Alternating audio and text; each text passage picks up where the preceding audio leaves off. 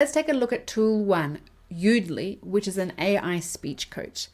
Yoodli gives your learners a way to practice speaking while getting feedback without needing to role play live in a workshop or in a Zoom breakout room.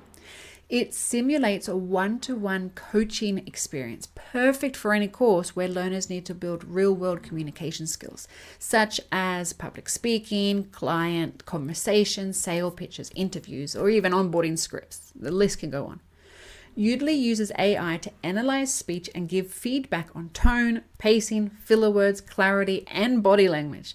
It helps your learners become more aware of how they sound and how they come across before applying these skills in real life. So, after a lesson, you can prompt learners to complete realistic speaking scenarios using Yoodli.